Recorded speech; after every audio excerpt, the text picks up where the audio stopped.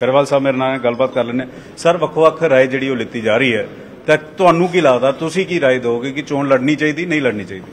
ਦੇਖੋ ਜੀ, ਮੇਰੀ ਇਕੱਲੇ ਦੀ ਇਸ ਦੇ ਵਿੱਚ ਕੋਈ ਐਡੀ ਵੱਡੀ ਸਮਰੱਥਾ ਨਹੀਂ ਹੈਗੀ ਕਿ ਮੈਂ ਇਕੱਲਾ ਬੰਦਾ ਇਸ ਗੱਲ ਲਈ ਕੋਈ ਫੈਸਲਾ ਸੁਣਾਵਾਂ।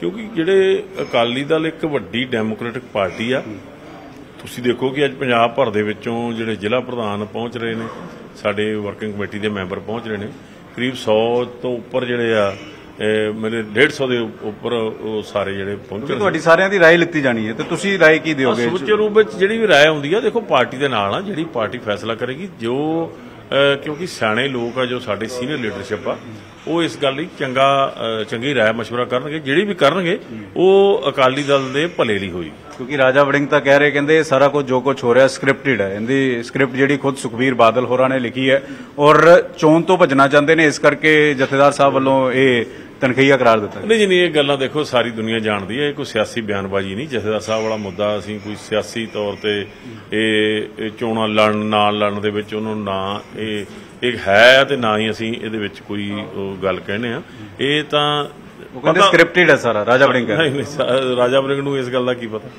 ਰਾਜਾ ਵੜਿੰਗ ਤਾਂ ਇੱਕ ਆਪਣੀ ਉਹਦਾ ਇਹ ਸੋਚ ਰਿਹਾ ਕਿ ਰੱਬ ਸ਼ੁਕਰ ਕਰੇ ਵੀ ਜਿਹੜੀ ਆ ਬਾਦਲ ਪਰਿਵਾਰ ਮੇਰੇ ਇਲਾਕੇ ਚੋਂ ਚੋਣ ਨਾ ਲੜੇ। ਉਹ ਤਾਂ ਚੈਲੰਜ ਦੇ ਰਹੇ ਕਹਿੰਦੇ ਕਿ ਬਾਦਲ ਹੋਰੀ ਲੜਨ ਮੈਂ ਚੈਲੰਜ ਦੇਣਾ ਕਹਿੰਦਾ ਭੱਜਣ ਨਾ। ਉਹਨਾਂ ਦੇ ਅੰਦਰੋਂ ਪੁੱਛ ਕੇ ਵੇਖੋ ਕਿ ਕੀ ਹਾਲਾਤ ਨੇ। ਉਹਨਾਂ ਨੇ ਕੱਲ ਇਹ ਗੱਲ ਕਹਿਤੀ ਹੈ ਕਿ ਹਾਲੇ ਅਸੀਂ ਕੁਝ ਨਹੀਂ ਕਹਿ ਸਕਦੇ ਜਿੰਨੀ ਦੇਰ ਤੱਕ ਅਕਾਲੀ ਦਲ ਕੋਈ ਫੈਸਲਾ ਨਹੀਂ ਸੁਣਾਉਂਦਾ। ਉਹ ਕਹਿੰਦੇ ਮਨਪ੍ਰੀਤ ਬਾਦਲ ਦੀ ਮਦਦ ਲਈ ਚੋਣ ਨਹੀਂ ਲੜਨਗੇ। ਇਹ ਇਹ- ਰਾਜੇ ਹੋਰੀ। ਨਹੀਂ ਨਹੀਂ ਅਸੀਂ ਜਿੱਤ ਹਾਰ ਦੇ ਬਾਰੇ ਅੱਜ ਕੁਝ ਕਹਿ ਨਹੀਂ ਸਕਦੇ। ਕੱਲ ਰਾਜਾ ਵੜਿੰਗ ਨੇ ਇਹ ਉੱਥੇ ਆਨਲਾਈਨ ਇਹ ਗੱਲ ਕਹੀ ਲੇਕਿਨ ਉਹ ਕਹਿੰਦੇ ਮਨਪ੍ਰੀਤ ਬਾਦਲ ਨੂੰ ਫਾਇਦਾ ਪਹੁੰਚਾਣਾ ਇਸ ਕਰਕੇ ਭੱਜ ਰਹੇ। ਮੈਂ ਤਾਂ ਕਹਿੰਦਾ ਕਿ ਲੜਨ। ਸੁਖਬੀਰ ਬਾਦਲ ਲੜਨ। ਮਨਪ੍ਰੀਤ ਬਾਦਲ ਵਾਲਾ ਕੋਈ ਮਸਲਾ ਨਹੀਂ। ਠੀਕ ਆ ਉਹਨਾਂ ਦੇ ਪਰਿਵਾਰ ਨਾਲ ਸੰਬੰਧਿਤ ਆ ਪਰ ਆ ਜੋ ਭਾਰਤੀ ਜਨਤਾ ਪਾਰਟੀ ਜਾਂ ਅਕਾਲੀ ਦਲ ਤੇ ਭਾਰਤੀ ਜਨਤਾ ਪਾਰਟੀ ਦਾ 36 ਦਾ ਅੰਕੜਾ ਵਾ ਪੂਰੀ ਆਪਸੀ ਟੱਕਰ ਆ ਜੇ ਇਹੋ ਜਿਹੀਆਂ ਕਿ ਸਮਝੌਤੇ ਕਰਨੇ ਹੁੰਦੇ ਇੱਕ ਦੂਜੇ ਨੂੰ ਫਾਇਦਾ ਦਿਵਾਉਣਾ ਹੁੰਦਾ ਤਾਂ ਅਸੀਂ ਚੋਣਾਂ ਵਿੱਚ ਕਿਉਂ ਨਾ ਸਮਝੌਤਾ ਕਰ ਲੈਂਦੇ ਲੇਕਿਨ ਵਿਨਰਜੀਤ ਗੋਲਡੀ ਹੋਰੀ ਕਹਿ ਰਹੇ ਕਹਿੰਦੇ ਕਿ ਚੋਣ ਨਹੀਂ ਲੜਨੀ ਚਾਹੀਦੀ ਜੇਕਰ ਸੁਖਬੀਰ ਬਾਦਲ ਨੂੰ ਪ੍ਰਚਾਰ ਕਰਨ ਦੀ ਇਜਾਜ਼ਤ ਨਹੀਂ ਮਿਲਦੀ।